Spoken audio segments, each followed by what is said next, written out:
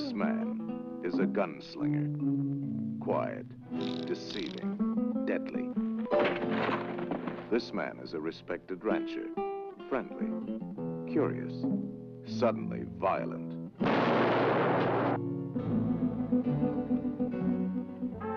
Day of the Evil Gun is an offbeat, out-of-step western.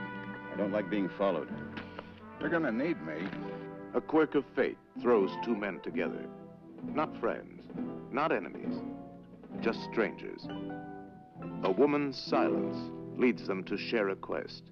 A lonely quest that leads to hate. You Thieving preacher's son. Each wishing the other dead. One of these days, I'm gonna pull the trigger. Each made to survive by the other's wits and guts. Uh, something hellish. It's, it's toward the north. But you're just in time if you if you want to be killed. Glenn Ford and Arthur Kennedy. Two men driven into a search by the unknown.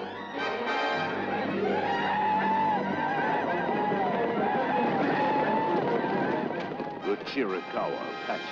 A strange mixture of playful bravery and utter ruthlessness.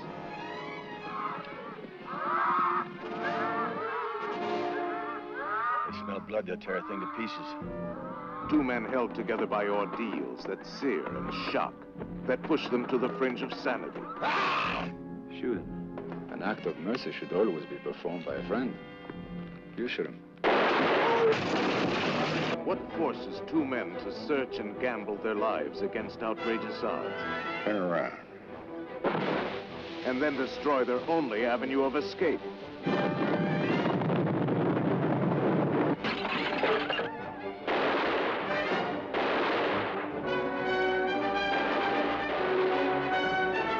Glenn Ford, Arthur Kennedy.